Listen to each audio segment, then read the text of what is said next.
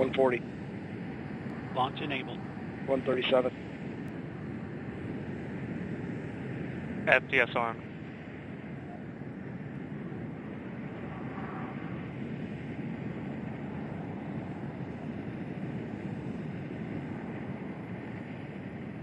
One twenty. OC is armed. FCS count started. EDS ascent.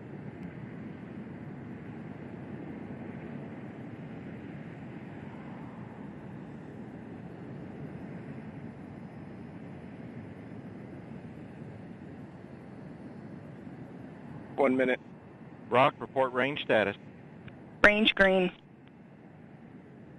54. PLP started.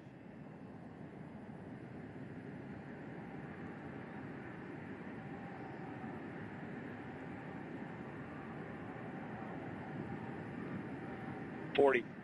Atlas at flight press.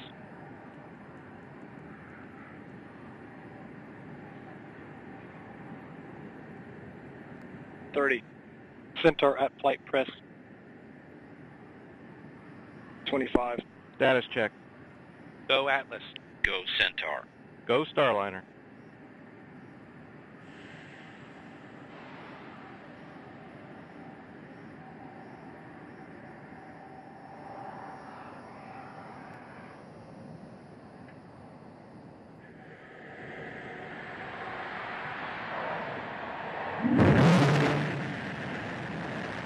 Release.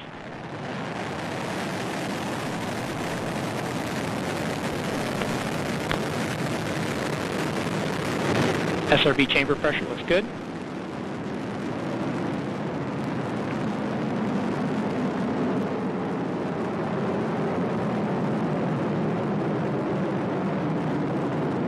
PU has gone to closed loop control.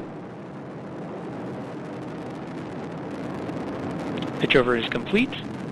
The RD-180 is now throttling down to maintain acceptable dynamic pressure limits on the vehicle.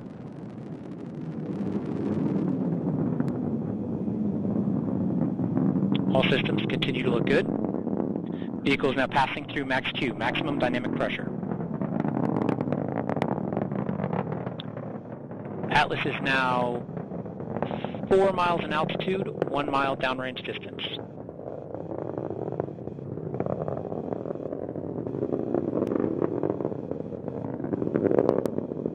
All systems continue to look good. Mach 1, Atlas is now supersonic.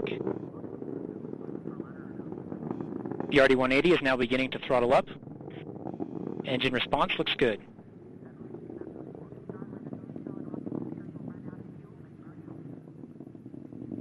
Vehicle attitude rates are well controlled.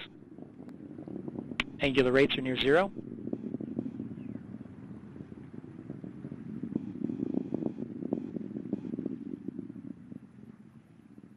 We've had SRB burnout, and the RD-180 has throttled back up to full, full thrust.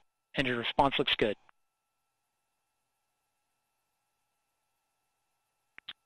Atlas is now 16 miles in altitude, 10 and a half miles downrange distance.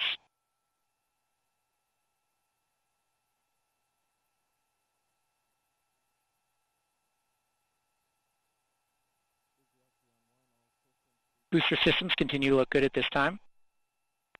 Atlas V weighs now just one half of what it did at launch, burning propellant at a rate of 2,800 pounds per second.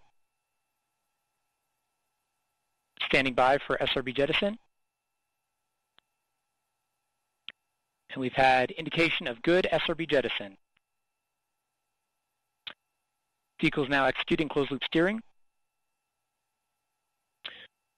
We have approximately two minutes remaining in the Atlas booster phase of flight.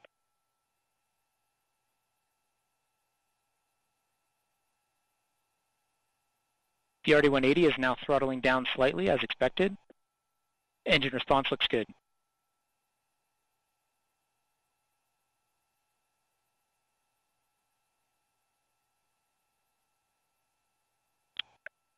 Centaur reaction control system is now pressurizing to flight levels.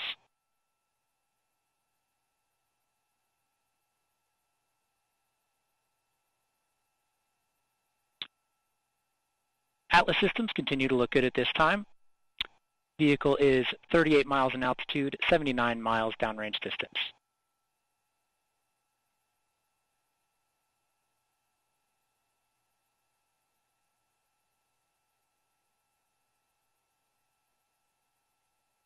Now at T plus 209 seconds, we have one minute to BECO, one minute to booster engine cutoff. The RD-180 is now throttling to maintain a constant 3.5 G acceleration limit.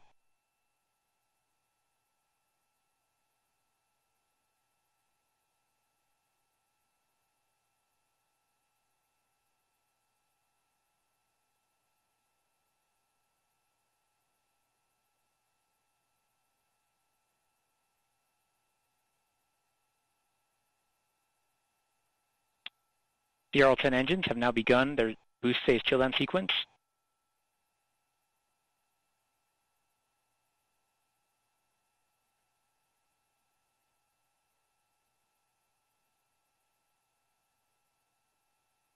Last few seconds of booster flight.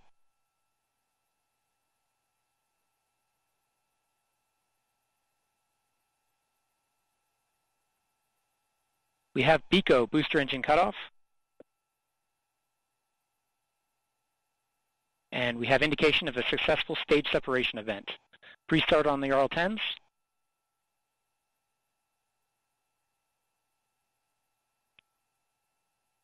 And we have ignition.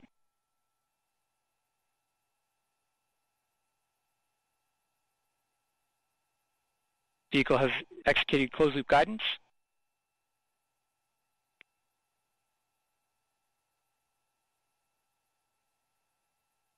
And we have indication of aeroskirt jettison. This first and only burn of the Centaur upper stage engines will last just over seven minutes and will place the Centaur and Starliner in a suborbital trajectory.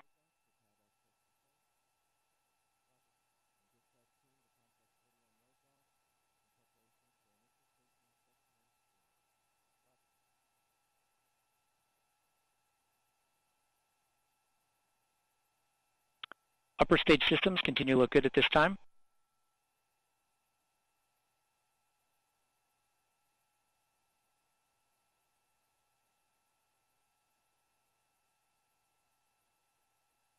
The engine propellant utilization system has gone to closed loop control.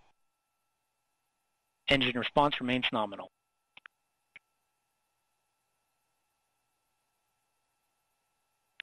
We just received, received word that booster performance was above nominal. Looks like we had a very good booster flight.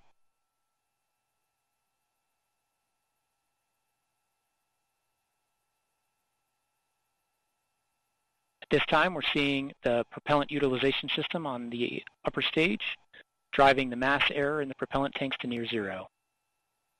PU system operation looks good.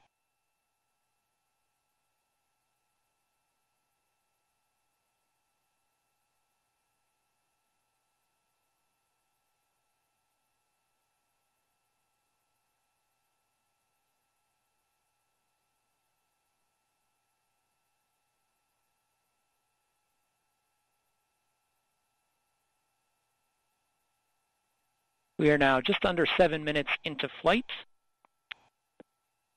Five minutes remain in this burn of the upper stage engines. The RL-10 engines continue to look good. Chamber pressures continue to look right down the middle of the expected band.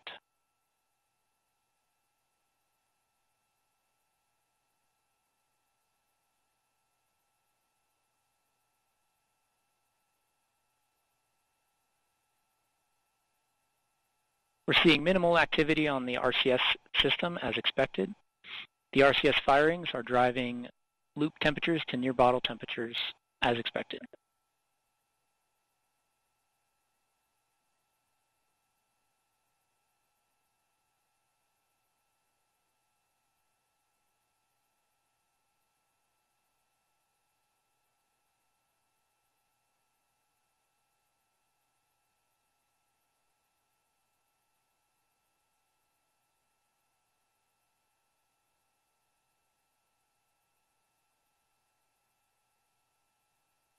We're now at T plus nine minutes.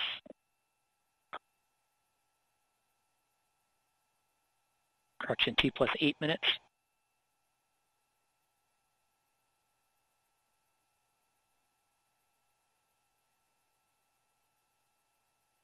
At this time, the Centaur is at an altitude of 102 miles, downrange distance of 1,075 miles.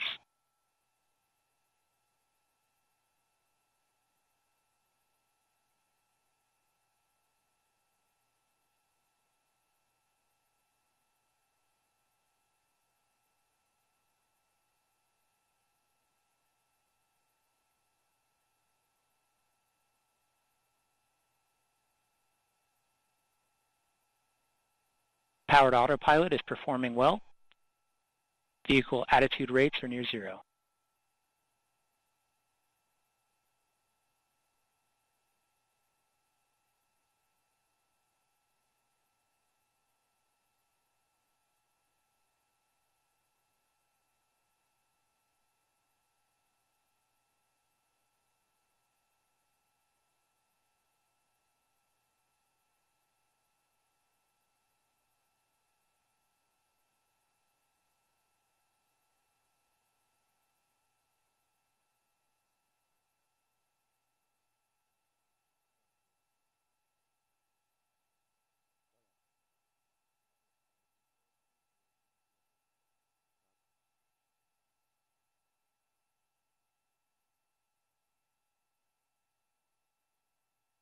We are now just under 10 minutes into flight. We have two minutes remaining until MECO 1.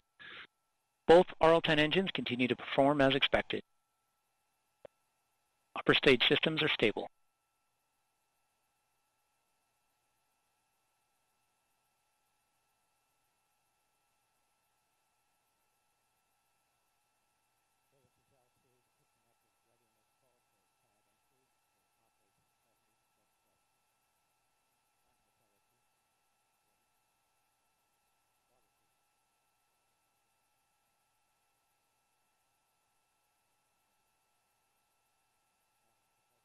The PU system on both engines continues to operate as expected, driving mass error to near, mass error to near zero.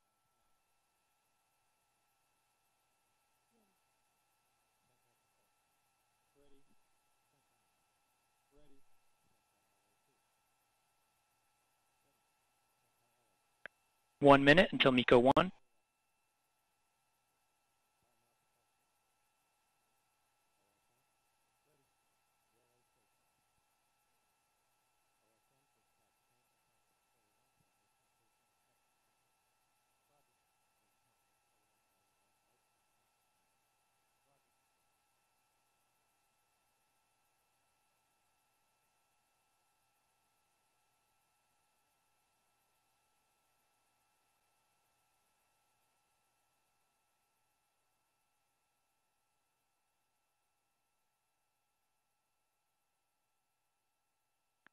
PU system has gone open loop in preparation for RL-10 cutoff.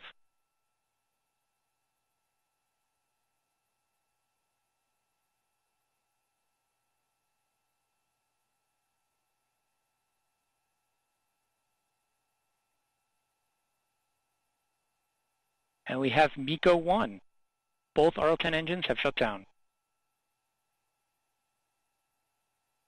At this time, the Centaur has entered a coast phase. Separation of Starliner will occur in approximately three minutes.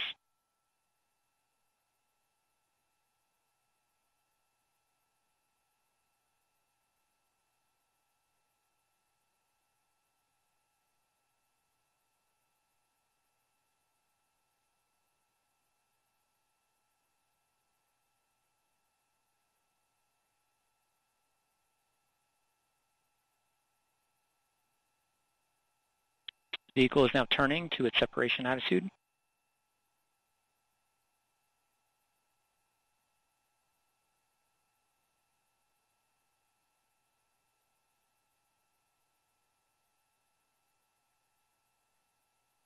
Upper stage systems are operating as expected during this coast phase.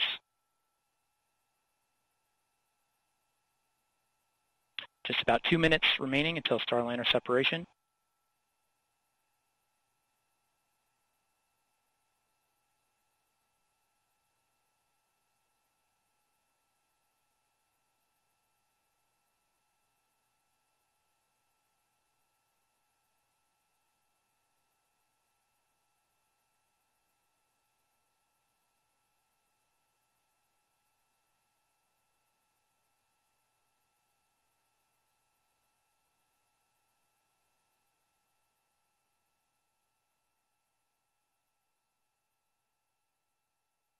Vehicle attitude has settled